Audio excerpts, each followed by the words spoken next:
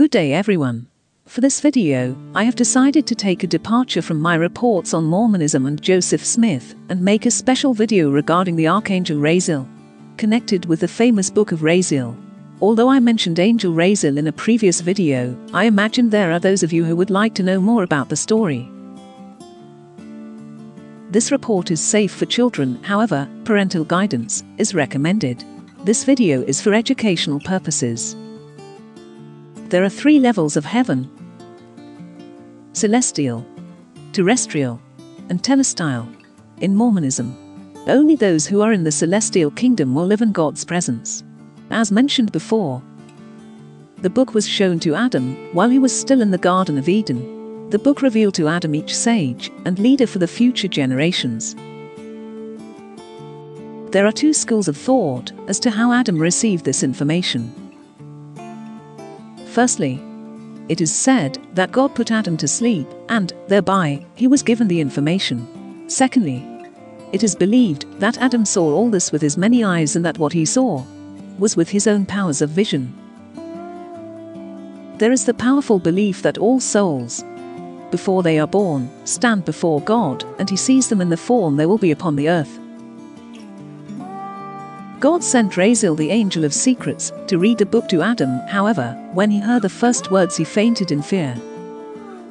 Seeing this, God decided to recall the angel and instructed that the book be left with Adam for him to read on his own. Thus, Adam read the book and became wise in all things. There are those who also say that the book was written on parchment and that this was the Torah. Other reports indicate that the book was written on a sapphire and that, when Adam held it up to the light, he could see the flame burning and the letters form and this enabled him to read it. Because some believe the book of Raziel to be the Torah, historical accounts say that the Torah was one of the seven things created before the rest of creation, this being so that the first man would receive the book's wisdom. Contained in the book was a secret writing that explained 72 branches of wisdom and mysteries, which had not been revealed even to the other angels. The book contains the entire history, past and future, of mankind. Whenever Adam opened the book, angels gathered around him to learn the mystical secrets it contained. Then, the angels made entreaty to God, saying, Impart the mystery of your glory to the angels, not to men. Instead, the angel Hadarniel was secretly sent to Adam and said, Adam, do not reveal the glory of your master, for to you, alone, and not the angels is the privilege given to know these mysteries. After that, Adam kept the book concealed and read it in secret. He learned mysteries not even known by angels. However, the angels became so jealous that they stole the book of Raziel and tossed it into the sea. Adam could not find it, so he fasted for many days until a heavenly voice spoke Fear not, Adam, I will give the book back to you. Then God summoned Rahab, the angel of the sea, and ordered him to recover the book from the depths and give it back to Adam. Rahab obediently complied. When Adam transgressed, the book flew away from him. Distraught, Adam begged God to return the book.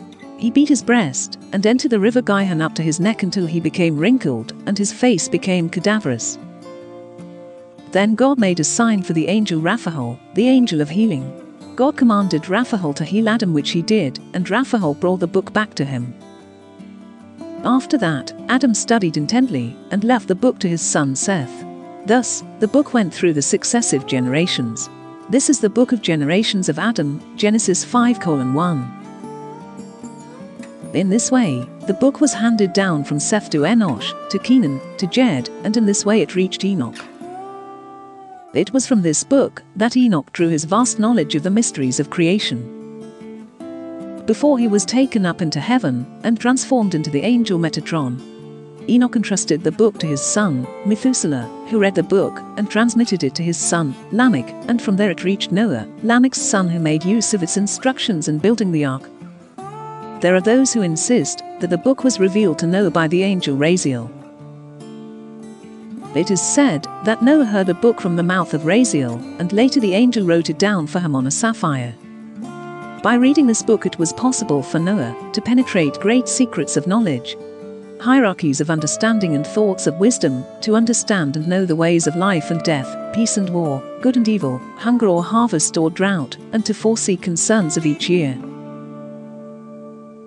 By gazing there, the destinies of the stars were revealed, the sun and the names of the guardians of each firmament. Revealed as well were the secrets of interpreting dreams and visions, and how it was possible to rule over man's desires and drive away evil spirits and demons.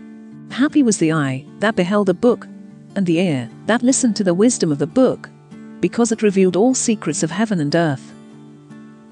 Noah placed the book into a golden box, and it was the first thing he brought into the ark. This way, it was revealed to Abraham, whose knowledge of it allowed him to gaze upon the glory of God.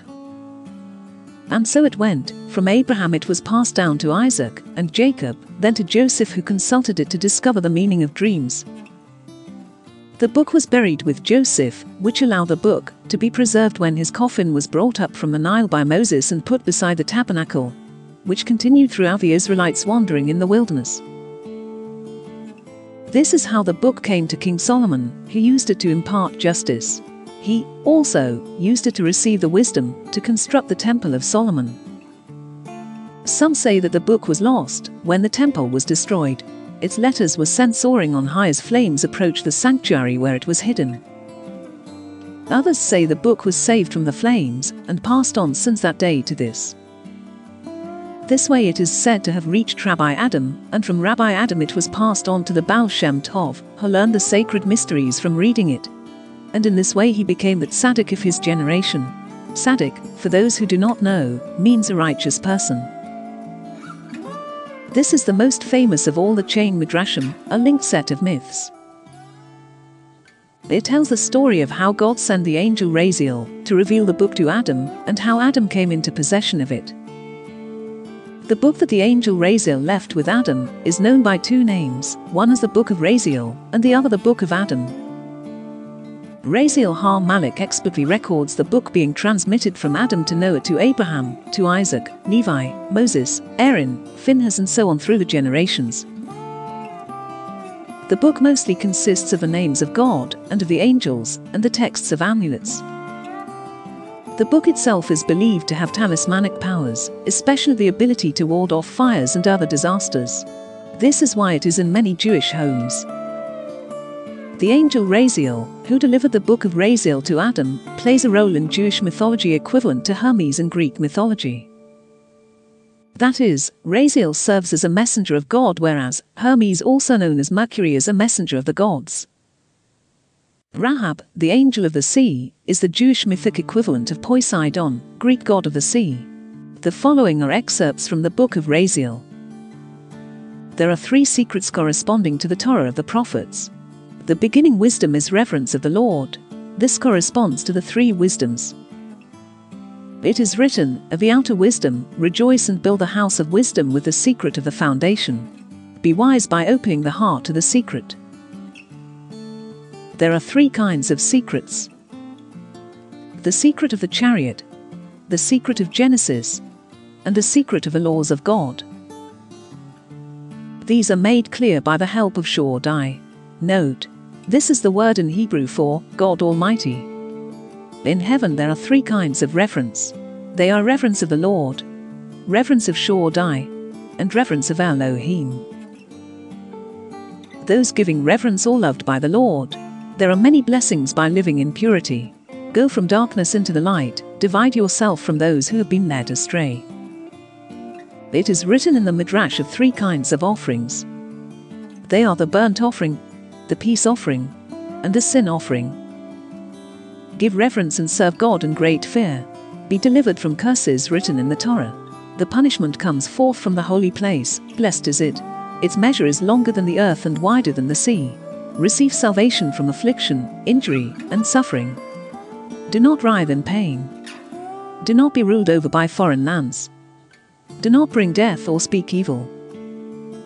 There are three classes of righteousness they are love, petition, and reverence. The burnt offering corresponds to love. The peace offering corresponds to petition. The sin offering corresponds to reverence. The burnt offering is a sacrifice to the glory of God alone. The peace offering and sin offering are for the sake of the living body. Proclaim love from the petition, and petition from the reverence. From love, you serve God in righteousness. Give glory and honor to the kingdoms alone, before all things. In goodness, the Lord created the universe by the word, not by labor. The God and Father and King is strong and wise, good and compassionate. You tolerate all things, filling all the highest and lowest, sustaining in the high places and bringing forth all creatures. You reveal the mysteries of the universe, the knowledge of good and evil. You tolerate wickedness for the sake of the restoration.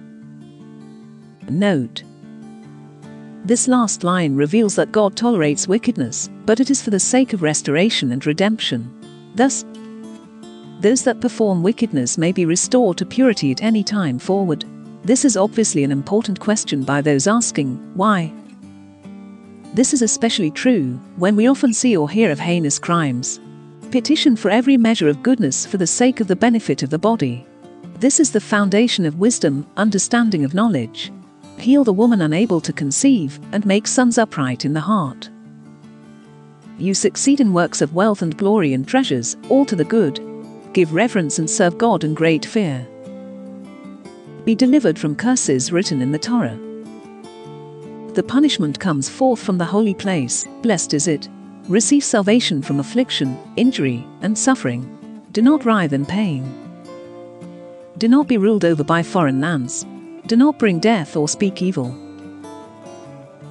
Of sacrifices in the first house through the first priest in the name of the one God, three lines in righteousness by love, by petition, and by priest, in the name of the one God, three lines in righteousness, by love, by petition, and by reverence.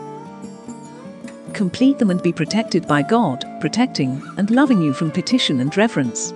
The beginning wisdom is reverence of the Lord and love of heaven. The heart of the righteous burns as flames of fire. Keep the commandments in reverence of the Lord. This the Lord requires, not making reward for reverence and love. It is written of reverence and love, the explicit name was created from love. Of the written word, this is the reverence of Shaddai. Revere God by keeping every commandment. That is all for now.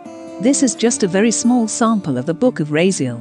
I have seen this book on Amazon and elsewhere, if you wish to read the entire book it is likely that anyone who reads it will find the entire tome extremely valuable. Sources for this report B. Avodah Zarah 5a, Genesis Rabbah 24 4, Leviticus Rabbah 15 1, Avot D. Rabbi Nathan. 56a, Midrash Tanhuma Bereshit 132, Midrash Tehillim 139, Zohar 137b, 155ab, 158b, 1 90b, Sefer HaRazim 65 to 66, Raziel Ha Malik 2, 4. Studies. Kabbalah by Avram Yaakov Finkel, pages 23 to 30. Thank you for joining me today and to learn more about the angel Raziel, the keeper of secrets. I hope you enjoyed this report. If so, please like, share, comment and subscribe.